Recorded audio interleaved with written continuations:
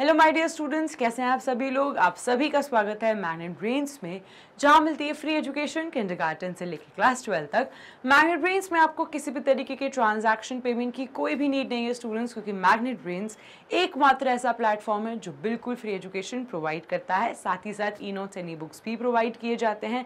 Description box पर given जो link है, आप उसे क्लिक कर सकते हैं या आप विज़िट कर सकते हैं मैग्नेट ब्रेन्स की वेबसाइट पर जो है डब्ल्यू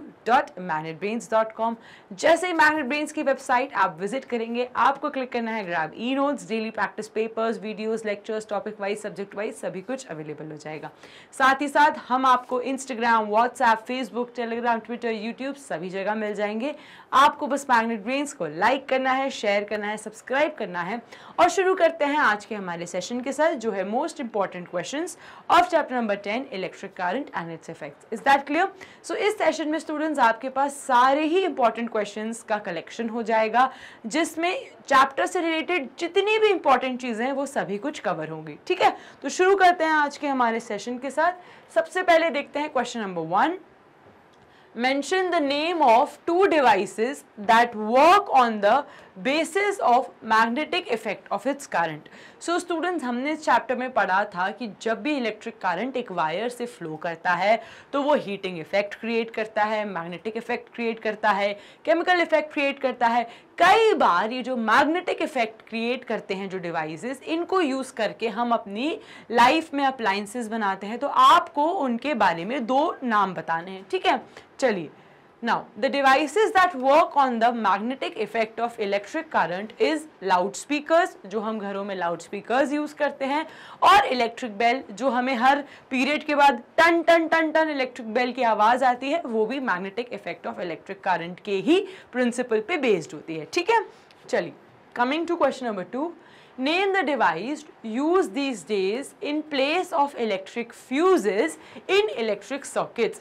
Now students fuses क्या थे तो fuses ऐसे device थे जिनको हम स्पेशल वायर्स से बनाते थे, जो इजीली मेल्ट हो जाती हैं और इजीली सर्किट को ब्रेक कर देती हैं। नाउ फ्यूज जो है वो एक सेफ्टी मैकेनिज्म होता है। हर इलेक्ट्रिकल अप्लायंस का एक थ्रेशोल्ड होता है। एक, कह सकते हो, जितना इलेक्ट्रिक करंट उसमें फ्लो करता है, एक वैल्यू होती है, एक मैक्सिमम वैल्यू होती है।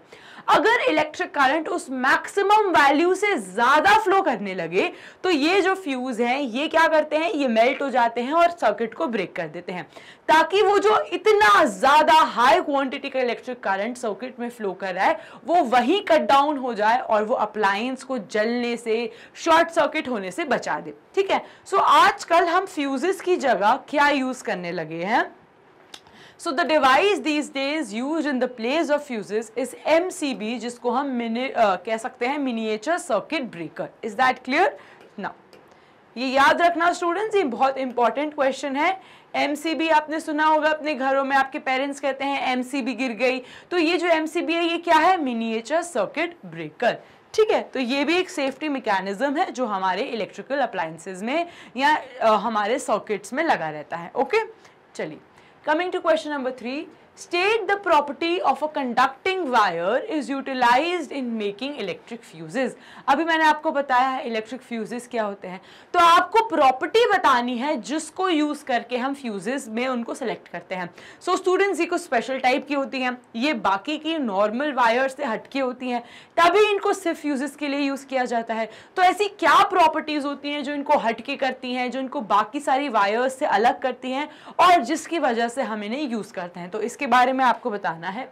Now electric fuse wire is made up of special material which has a low melting point यानी कि अगर हल्का सा भी ज़्यादा करंट फ्लो हुआ, जितना उसकी वैल्यू है, अगर सपोज़ उसकी वैल्यू 15 है, और जैसे 16 एम्पियर यानी कि जैसे थोड़ा सा भी मैक्सिमम वैल्यू से ज़्यादा करंट फ्लो हुआ, ये जो वायर है, ये तुरंत मेल्ट डाउन हो जाएगी। तो इसलिए इसका लो मेल्टिंग पॉइंट होना चाहिए। और as if high amount of current is pass it melt to disconnect और जैसे ही ज़्यादा करंट पास होगा, ये मेल्ट हो जाएगी और ये जो सर्किट है, ये सर्किट को ब्रेक कर देगी। आई बात समझ में? अब ये सर्किट ब्रेक हो गया तो पूरा इलेक्ट्रिक करंट वो पूरे सर्किट में फ्लो ही नहीं करेगा और वो अप्लायंस आग लगने से शॉर्ट सर्किट होने से बच जाएगा। आई बात समझ में? So it prevent us from causing any damage okay now Name the type of mark for which we should look at an electric appliance before buying. अब electric appliance पे एक मार्क होता है जो आपको देखना चाहिए कोई भी इलेक्ट्रिक अप्लायंस को खरीदने से पहले। इसका मतलब होता है कि वो स्टैंडर्ड इंस्टीट्यूट के सारे कह सकते हो वैल्यूज़ को सारे रूल्स uh, को फॉलो करता है और वो सेफ़ अप्लायंस है। तो ये कुछ ऐसा मार्क होता है आपने नोटिस करा होगा आई एस आई करके। ऐसा एक मार्क होता है। ठीक है तो I S I mark is used for which we should look at an electric appliance before buying तो हर इलेक्ट्रिक अप्लायंस को खरीदने से पहले आपको ऐसे मार्क को देखना चाहिए। और अगर ऐसा कुछ मार्क है, यानी कि वो सारे स्टैंडर्ड प्रोटोकॉल्स को फॉलो करता है, उसके बाद ही वो अप्लायंस को खरीदना चाहिए। ठीक है? चलिए। Now coming to question number five briefly mention which part of the symbol of battery shows positive and negative terminal so students हमने पढ़े थे ना सिम्बल्स ऑफ़ इलेक्ट्रिक अप्लायंस जिसमें हमने बैटरी के लिए कुछ ऐसा यूज़ करते थे। करते थे कि नहीं करते थे? है ना? बैटरी के लिए हम कुछ ऐसा यूज़ करते थे। तो आपको इन दोनों से बताना है कि कौन सा किसके लिए यूज़ होता है। अब स्टूडेंट्स जो पतला सा, लंबा सा होता है, वो हम यूज़ करते हैं पॉजिटिव टर्मिनल के लिए। और जो छोटा सा, मोटा सा होता है, उसको हम यूज़ करते हैं नेगेटिव टर्मिनल के लिए। अब ये तो है एक सिंगल सेल अब यहीं पे ही अगर बैटरी हो जाएगी तो क्या हो जाएगा? एक लंबा और एक छोटा मोटा। आई बात समझ में?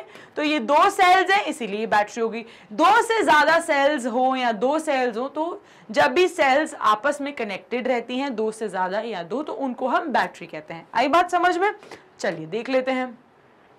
Now the positive terminal is represented by a longer vertical line positive terminal एक लॉन्गर वर्टिकल लाइन होती है एंड उसी के साथ दी uh, while the negative terminal is uh, represented by the shorter vertical line और यही जो नेगेटिव टर्मिनल रहता है वो शॉर्टर वर्टिकल लाइन से रहता है जो थिकर होता है। आई बात समझ में? चलिए। Now coming to question number six can be use the same fuse in a geyser and a television set explain क्या आप एक ही तरीके का फ्यूज अपने टीवी में अपने घरों के टीवी में और साथ ही साथ गीजर में यूज़ कर सकते हो। आप खुद बताओ, आप एक ही फ्यूज सेम फ्यूज अपने टीवी में और गीजर में यूज़ कर सकते हो और हाँ तो क्यों? और अगर नहीं तो क्यों? ठीक है, चलो, देख लेते हैं इसका आंसर नाउ हम नहीं यूज़ करते। तो आंसर इज़ नो हम दोनों में सेम फ्यूज नहीं यूज़ कर सकते, क्योंकि we can not use the same fuse in a geyser और in a television set because the fuse use in every appliance has some limit to withstand और हर फ्यूज हर अप्लायंस में एक limit पे सेट होता है। हो सकता है टीवी की मैक्सिमम लिमिट अलग है, गीजर की मैक्सिमम लिमिट अलग है तो यहाँ पे हम सेम फ्यूज नहीं यूज़ कर सकते। ठीक है? चलिए। Flows through it, so different appliances have different fuses. इसीलिए हर अप्लायंस अपनी अपनी मैक्सिमम वैल्यूज़ के अकॉर्डिंग मैक्सिमम लिमिट्स के अकॉर्डिंग फ्यूजेस डिसाइड होते हैं। ठीक है? चलिए। Now coming to question number seven If cells are placed side by side, then how are the terminals of the cells connected? अगर cells side by side place हों तो अब उनके टर्मिनल्स कैसे कनेक्टेड होते हैं? तो एक सिंपल सा रूल कह सकते हो या लॉ कह सकते हो। सिंपल सा लॉ है कि हमेशा positive terminal is connected to the negative terminal हमेशा। कोई एक्सेप्शन नहीं है। हमेशा। अगर आपको करंट फ्लो कराना है तो हमेशा positive terminal is connected to negative terminal. यही अगर नेगेटिव नेगेटिव को साथ में रख दोगे तो कोई करंट फ्लो नहीं करेगा। यही अगर पॉजिटिव पॉजिटिव को साथ रख दोगे तो कोई करंट फ्लो नहीं करेगा। अगर आपको करंट फ्लो कराना है तो हमेशा एक positive terminal is connected with the negative terminal. आई बात समझ में? चलिए। ठीक है students so if cells are placed side by side then with the help of some connecting wires अब ऑब्वियसली आपको कनेक्ट करना है सेल्स को तो वायर्स जोड़ने पड़ेंगे। And the positive terminal of one cell is connected to the negative terminal of the other cell हमेशा एक positive terminal should be connected to the negative terminal of the other cell और इसीलिए आप कह सकते हो, जब भी एक से ज़्यादा सेल्स कनेक्टेड होते हैं तो उसको हम बैटरी कहते हैं। So, is connected to the negative terminal of the other cell to produce a combined power of a cell which can be called as battery. और यही cell की जो combined power है इनको हम battery कहते हैं क्योंकि यहाँ पे एक cell से ज़्यादा cells हम साथ बासाइड connect कर रहे हैं ठीक है चलिए Coming to question number 8, distinguish between an open circuit and a close circuit अब क्या अंतर होता है ओपन सर्किट में और क्या अंतर होता है क्लोज सर्किट में? ठीक है तो देख लेते हैं। सो ओपन सर्किट जिसको हम कह सकते हैं इज़ और electric path which begins from a positive terminal of a battery and gets broken at the same point अब कह सकते हो ओपन सर्किट जो रहता है, उसमें करंट फ्लो पॉजिटिव टर्मिनल तक आके रुक जाता है, यहीं पे ही ब्रेक हो जाता है। यहाँ पे जो सर्किट है, वो कंप्लीट नहीं है, वो अभी खुला हुआ है, इसीलिए करंट का फ्लो आके पॉजिटिव टर्मिनल पे रुक गए ठीक है? नाउ क्लोज सर्किट क्या होता है? A close circuit is an electric path with which begins from the positive terminal of a cell and a battery and terminates at the negative terminal without any break. अब यहाँ पे क्योंकि circuit complete है, इसलिए बिना कोई रुकावट के, बिना कोई ब्रेक के, वो पॉजिटिव टर्मिनल से निकल के इलेक्ट्रिक करंट नेगेटिव टर्मिनल पे आके कंप्लीट सर्किट फ्लो होता है। और जो इलेक्ट्रिक करंट है, वो कंप्लीटली फ्लो होता है पूरे सर्किट में विदाउट एनी ब्रेक आई बात समझ में? चलिए। Now question number nine Bujo made an electromagnet by winding 50 turns of wire over an iron screw तो बोजो ने क्या करा? एक आयरन का स्क्रू लिया और उसके ऊपर 50 बार टर्न करा एक वायर को। आई बात समझ में? तो ऐसे करते करते 50 टर्न्स करे उसने इस स्क्रू के ऊपर। ठीक है? नाउ पहेली ऑल्सो मेड एन इलेक्ट्रोमैग्नेट और यहीं पे पहेली ने भी पहेली ने भी एक इलेक्ट्रोमैग्नेट ऐसा बनाया, एक स्क्रू लेकर, लेकिन उसने हंड्रेड टर्न्स करे। आई बात समझ में? पहेली के जो टर्न्स हैं, वो कितने हैं स्टूडेंट्स वो हंड्रेड टर्न्स हैं। कितने टर्न्स हैं? हंड्रेड टर्न्स तो यहाँ पे हम लिख देते हैं कि बोजो ने जो बनाया, उसमें उसने डाले पचास टर्न और पहेली ने जो बनाया, उसने पहेली ने सौ बार टर्न करा। आई बात समझ में? तो यहाँ मैं लिख देती हूँ 50 टर्न्स और यहाँ मैं लिख देती हूँ 100 टर्न्स ठीक है? Now which electromagnet will attract more pins give reason अब हमें पता है कि इलेक्ट्रोमैग्नेट अगर इसी में ही हम इलेक्ट्रिक करंट पास करेंगे तो ये जो नेल है, ये जो वायर है, जिसके अराउंड ये पूरे वायर जो स्क्रू के अराउंड पूरी तरह से कॉइल्ड है, ये कॉइल एक इलेक्ट्रोमैग्नेट की तरह एक्ट करने लगेगा। जैसे ही इलेक्ट्रिक करंट पास होगा, अगर आप इसके आसपास कोई भी नेल लाओगे तो वो इसके अट्रैक्ट हो जाएगा। अब यहाँ पे 50 टर्न्स है, यहाँ पे 100 टर्न्स है। यानी कि यहाँ पे स्ट्रॉन्गर इलेक्ट्रोमैग्नेट है। तो जो सौ टर्न्स वाला, जो पहेली ने बनाया था जैसे हम उस पर इलेक्ट्रिक करंट पास करेंगे, वो स्ट्रॉन्गर मैग्नेटिक फ़ील्ड क्रिएट करेगा और वो ज़्यादा से ज़्यादा नेल्स को अट्रैक्ट कर पाएगा। आई बात समझ में? तो पहेली का जो मैग्नेट है, वो स्ट्रॉन्ग मैग्नेट होगा मैग्नेटिक फ़ील्ड स्ट्रॉन्ग होगी, उसकी कॉइल्स ज़्यादा हैं। Because of the more number of coils वो एक स्ट्रॉन्ग इलेक्ट्रोमैग्नेट है और इसीलिए वो ज़्यादा पिंस अट्रैक्ट करेगा। ठीक है? चलो। Now since the magnetic effect directly depends on the number of turns जितना ज़्यादा टर्न्स है उतना ज़्यादा मैग्नेटिक इफ़ेक्ट ये याद रखना। जितना ज़्यादा नंबर ऑफ़ टर्न्स हैं जितने ज़्यादा नंबर ऑफ़ टर्न्स रहेंगे उतनी ही ज़्यादा मैग्नेटिक फ़ील्ड रहेगी। आई बात समझ में? जितने ज़्यादा नंबर ऑफ़ टर्न्स उतनी ही ज़्यादा ज़्यादा मैग्नेटिक फ़ील्ड रहेगी। So so, Paheli coil has more number of turns than Boojho so her electromagnet is stronger than Boojho इसीलिए पहेली ने, क्योंकि ज़्यादा नंबर ऑफ़ टर्न्स करे हैं अपने कॉइल के अराउंड जैसे बोझो के कंपैरिजन में तो इसीलिए पहेली का जो मैग्नेट है, वो स्ट्रॉन्गर मैग्नेट है बोझो के कंपैरिजन में। और इसीलिए पहेली का मैग्नेट ज़्यादा पिंस को अट्रैक्ट करेगा एज कंपेयर टू बोझो के मैग्नेट आई बात समझ में? चलिए। Coming to question number 10, does the electric current have other effect except heating? अब हमें पता है magnetic effect of electric current है ना? पता है कि नहीं पता है? बिल्कुल पता है। Magnetic effect of electric current अभी heating effect of electric current क्या होता है? जब भी हम एक वायर से इलेक्ट्रिक करंट पास करते हैं तो वो हीट अप हो जाती है। अब वो जो इतनी हीटअप हो जाती है, उसको हम बल्ब में यूज़ करते हैं हीटर्स में यूज़ करते हैं, अपने घरों में प्रेसेस यूज़ करते हैं तो ये सारे जो फिनोमिना है, ये सारे जो अप्लायंसेज हैं, वो इस फिनोमिना पे बेस्ड हैं, जो है heating effect of electric current यहीं पे एक और आता है, जो इलेक्ट्रिक करंट का इफ़ेक्ट है, वो है magnetic effect of electric current अब magnetic effect of electric current में क्या होता है? जब भी आप, जब भी आप एक वायर एक वायर में इलेक्ट्रिक करंट पास करोगे। जब भी आप एक वायर में इलेक्ट्रिक करंट पास करोगे तो क्योंकि आपने इलेक्ट्रिक करंट पास करा, उसके अराउंड मैग्नेटिक फ़ील्ड क्रिएट होने लगी। और ये मैग्नेटिक फ़ील्ड क्या होगा? अब क्योंकि इलेक्ट्रिक करंट पास हुआ है, इसीलिए ये मैग्नेटिक फ़ील्ड क्रिएट हुई है तो ये वायर एक इलेक्ट्रोमैग्नेट की तरह एक्ट करेगी। जैसे ही आप ये इलेक्ट्रिक करंट हटा दोगे जैसे ही आप ये इलेक्ट्रिक करंट हटा दोगे, ये मैग्नेटिक फ़ील्ड भी अपने आप ही हट जाएगी। आई बात समझ में? क्योंकि इलेक्ट्रिक करंट पास करने की वजह से आप किसी ऑब्जेक्ट को मैग्नेट में कन्वर्ट कर रहे हो, इसीलिए उसको आप इलेक्ट्रोमैग्नेट कहते हो। इलेक्ट्रिसिटी की वजह से वो मैग्नेट बना है। जैसे ही इलेक्ट्रिसिटी चली जाएगी, वो मैग्नेटिज्म लूज कर देगा। आई बात समझ में?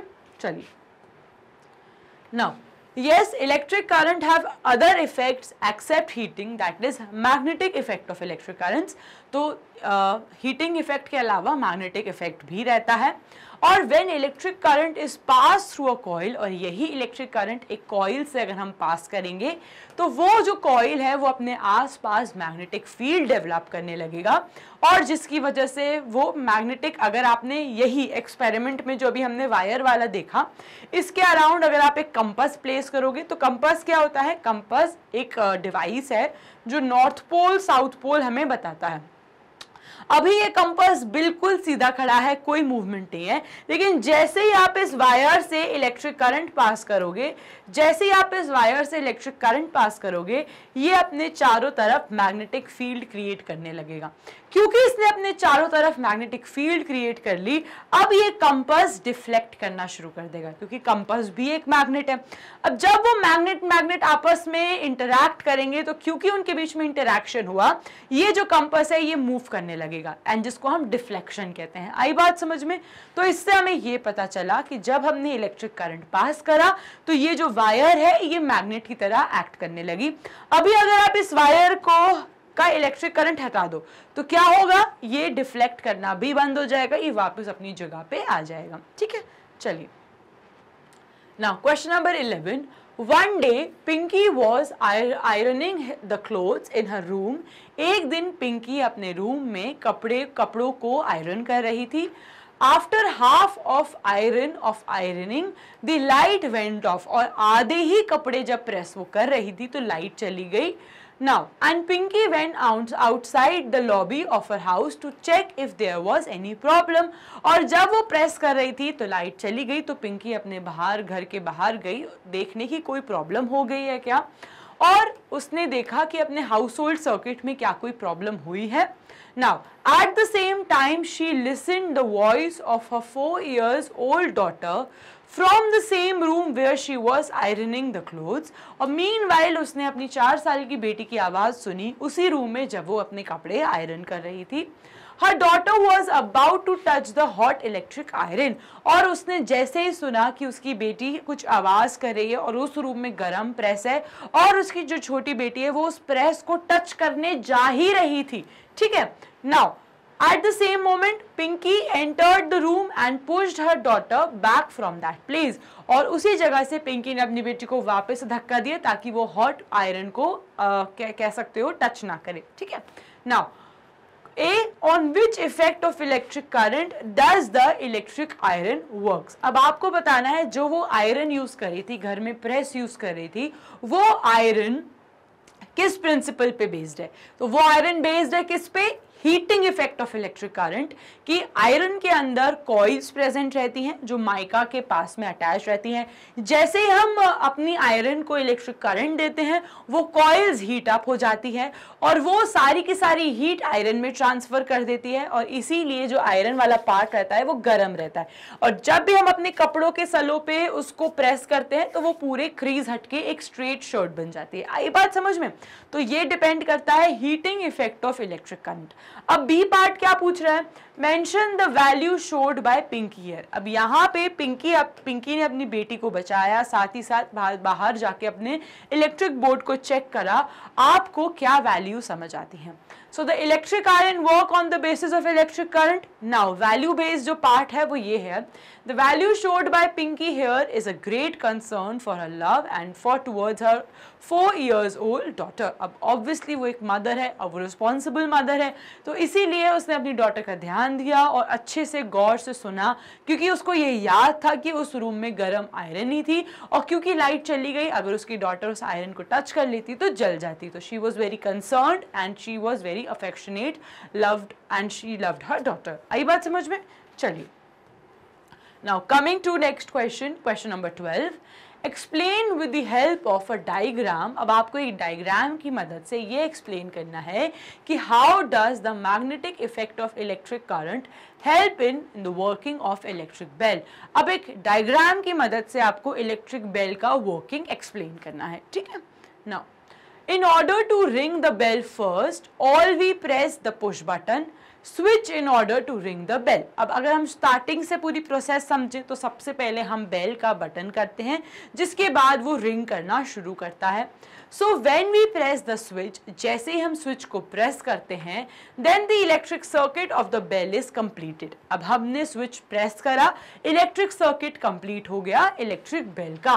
And current passes through the coil और यहीं पे इलेक्ट्रिक बेल में जो कॉइल्स प्रेजेंट है, जो आयरन के अराउंड कॉइल्स प्रेजेंट है, वो कॉइल्स में इलेक्ट्रिक करंट पास हुआ और वो इलेक्ट्रिक करंट जैसे ही कॉइल्स में पास हुआ, वो एक इलेक्ट्रोमैग्नेट की तरह एक्ट करने लगे। Now the electromagnet attract the armature itself और यही उसके पास एक और एक आयरन का पीस रहता है क्योंकि अब ये इलेक्ट्रोमैग्नेट है। अब ये इलेक्ट्रोमैग्नेट इस आयरन पीस को अट्रैक्ट करेगा और इसी आयरन पीस पे कह सकते हो बेल की जो हैमर है, वो अटैच रहता है, ठीक है? Now so as the armature moves towards the poles of the electromagnet जैसे ही इलेक्ट्रोमैग्नेट के वो पोल्स की तरफ़ मूव होता है the clapper attach to it strikes the gong और ये जो क्लैपर है, जो हैमर से अटैच्ड है, ये जो गोंग रहता है, उसको जाके हिट करता है। क्योंकि ये हिट करता है, इसलिए टंग आवाज़ हमें आती है। आई बात समझ में? And produces a ringing sound ये जो टन आवाज़ आई, वो इसीलिए क्योंकि हैमर ने गोंग की तरफ़ प्रेस करा है। ठीक है? Now it implies that the bell rings और इसी से हमें इम्प्लाई होता है कि बेल ने रिंग करा। Now when the armature moves towards the magnet जैसे ही आमेचर मैग्नेट की तरफ़ मूव होता है it contact with the contact screw is broken आई बात समझ में? देखो, क्या मतलब होता है? जैसे ही ये हिट करता है, हमारे गोंग को, ये हैमर यहाँ पे जो कांटेक्ट है, ठीक है, यहाँ पे जो कांटेक्ट है, वो ब्रोकन हो जाता है। क्योंकि यहाँ वाला कांटेक्ट ब्रोकन हो गया तो वापस से सर्किट ओपन हो गया। अब क्या होगा? जैसे ही ओपन होगा, ये कॉइल जो इलेक्ट्रोमैग्नेट की तरह एक्ट कर रही थी, वो वापस से अपना मैग्नेटिज्म लूज कर देगी। और ये जो हैमर है, वो वापस अपनी जगह पे बैक पुश हो जाए मतलब वापस अपनी जगह पे आ जाएगा। आई बात समझ में? क्योंकि ये वापस जैसे ही अपनी जगह पे आएगा, फिर इलेक्ट्रिक सर्किट कंप्लीट हो गया। जैसे इलेक्ट्रिक करंट फ्लो हुआ, ये मैग्नेट्स वापस, ये जो कॉइल्स हैं, ये वापस इलेक्ट्रोमैग्नेट की तरह करेंगे और ये इसको वापस से अट्रैक्ट करेंगे। जैसे ये इसको अट्रैक्ट करेंगे, ये हिट करेगा। जैसे ये इसको हिट करेगा, यहाँ पे जो कॉन्टैक्ट स्क्रू है, वो वापस से ओपन हो जाएगा एंड यहाँ का सर्किट वापस से ओपन हो जाएगा। वापस से यही सेम चीज़ रिपीट होती रहेगी, ठीक है? Now, due to this, the electric circuit breaks and no current flows into the electromagnetic coil. और जैसे ही कॉन्टैक्ट स्क्रू का कॉन्टैक्ट हटता है वहाँ पे ओपन सर्किट हो जाता है और वापस से करंट फ्लो होना बंद हो जाता है the electromagnet loses its magnetism और जैसे ही करंट फ्लो होना बंद होगा इलेक्ट्रोमैग्नेट अपनी मैग्नेटिज्म लूज कर देगा और क्योंकि उसने उस आर्मेचर को अपनी तरफ़ अट्रैक्ट करा था, वो वापस अपनी पोजीशन पे आ जाएगा क्योंकि इलेक्ट्रोमैग्नेटिज्म ही खत्म हो गया।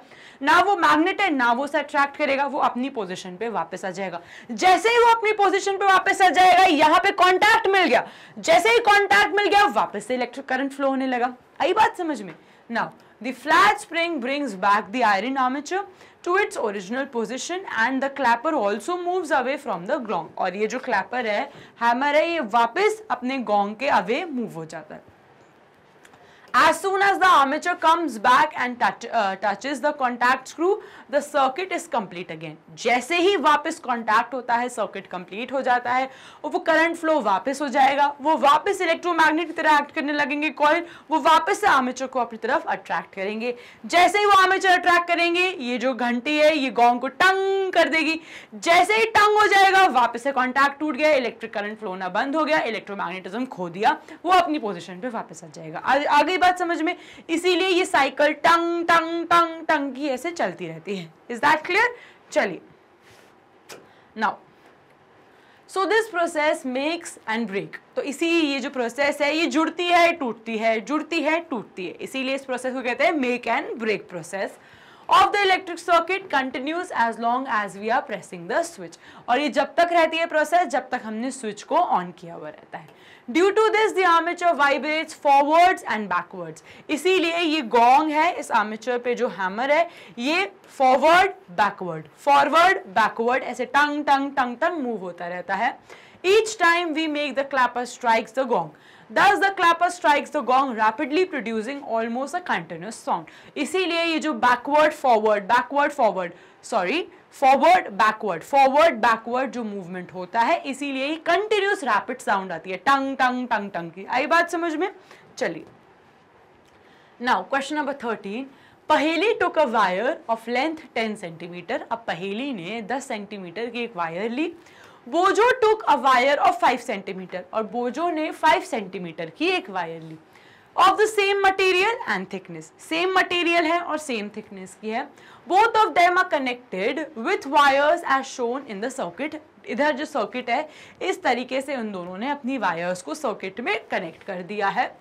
The current flowing in both the circuit is the same और एक ही सेम कह सकते हो करंट दोनों ही सर्किट्स में फ्लो कर रहा है। Will the heat produce in both the cases be equal क्या दोनों केसेस में जो हीट प्रोड्यूस होगी 10 सेंटीमीटर 5 सेंटीमीटर वो दोनों में ही सेम होगी कि अलग होगी? The heat produced be, uh, be the same if the wire taken by them are of equal length but of different thickness? और यही अगर ये दोनों वायर्स अलग अलग थिकनेस की होती लेकिन एक ही लेंथ की होती तो तब भी क्या सेम ही हीट प्रोड्यूस होती? आपको ये एक्सप्लेन करना है। आई बात समझ में? चलिए। सो दोनों में सेम नहीं हीटनेस हीट प्रोड्यूस होगी। The amount of heat produce in both the wires will be different because the heat produce in a wire passing electric current depends on the length of wire तो जितनी लंबी wire होगी, उतना ज़्यादा heat produce होगी। तो 10 centimetre वाले case में ज़्यादा हीट प्रोड्यूस होगी एज कंपेयर टू 5 सेंटीमीटर क्योंकि हीटिंग इफ़ेक्ट डायरेक्टली डिपेंड करता है लेंथ ऑफ़ दी वायर पे। दूसरा, जब दोनों की थिकनेस अलग होगी, तब भी सेम हीट प्रोड्यूस नहीं होगी, क्योंकि the amount of heat in the wire of the same length but different thickness cannot be same because the amount of heat produced in a wire, it also depends on the thickness of the wire. तो length के साथ साथ thickness पे भी depend होता है तो जित जिसकी थिकनेस ज़्यादा, उसकी हीट ज़्यादा प्रोड्यूस होगी। तो लेंथ और थिकनेस आपको ये समझाना है कि हीट प्रोड्यूस डायरेक्टली डिपेंड करती है लेंथ और थिकनेस ऑफ़ दी वायर पे। आई बात समझ में? चलिए। Question number fourteen state one measure to avoid overloading in an electric circuit एक तरीका आपको बताना है जिससे आप ओवरलोडिंग एक सर्किट को में होने से पहले ही रोक सकते हो Also mention the name given in the situation in which the live and the neutral wire accidentally come in contact. आपको एक situation बताना है जहाँ पे live और न्यूट्रल वायर एक कॉन्टैक्ट में आ गए। Describe the role of safety device in this circuit और इस डिवाइस में हम सेफ्टी के लिए कौन सी डिवाइस का इस्तेमाल करेंगे। ठीक है? Now overloading can be avoided if too many appliances are not connected to a single socket अगर आपको ओवरलोडिंग होने से बताना है बचाना है तो एक सॉकेट में बहुत सारे डिवाइसेस नहीं कनेक्ट करने चाहिए Short circuiting is a name given to a situation in which live and the neutral wire accidentally comes in contact. हम बोलते हैं short circuit हो गया तो क्या है वो short circuit? वो short circuit एक ऐसी situation है जहाँ live और neutral wire दोनों ही एक साथ contact में आ जाती हैं electric fuse is a safety device और इधर पे ही अगर आप इलेक्ट्रिक फ्यूज़ का इस्तेमाल करेंगे तो वो एक सेफ्टी डिवाइस है, जहाँ पे शॉर्ट सर्किट होने से पहले ही सिचुएशन बच जाती है। क्यों? क्योंकि ये जो फ्यूज़ है, ये स्पेशल वायर से बना है। जैसे ही एक maximum limit maximum current flow होगा, वो वो जो फ्यूज है, वो अपने आप ही उसकी जो वायर है, वो मेल्ट होकर सर्किट को ब्रेक डाउन कर देगी, ठीक है? So when the overloading takes place then the current becomes large जब भी ज़्यादा अप्लायंसेस एक ही कनेक्शन से कनेक्टेड रहते हैं तो वहाँ पे ओवरलोडिंग हो जाती है। जैसे ही ओवरलोडिंग हो जाती है, वो ज़्यादा इलेक्ट्रिक करंट पास करने लगती है। क्योंकि ज़्यादा इलेक्ट्रिक करंट पास होगा अप्लायंस से तो उस अप्लायंस की मैक्सिमम लिमिट से करंट एक्सीड हो जाएगा। जैसे ही मैक्सिमम लिमिट से करंट एक्सीड होगा, वो फ्यूज डिटेक्ट करके क्या हो जाएगा? वो अपना मेल्ट हो जाएगा और सर्किट को ब्रेक कर देगा, ताकि वो इलेक्ट्रिक अप्लायंस को डैमेज ना हो और फायर ना कैच करे और ओवरहीटिंग ना हो। आई बात समझ में? ना it gets melted and circuit breaks which prevents them from the damage of the wiring and electric appliances और ये एक सेफ्टी मैकेनिज्म है। किसी भी डिवाइस को शॉर्ट सर्किट होने से या जलने से या ओवरहीटिंग होने के बचाने से। आई बात समझ में? चलिए।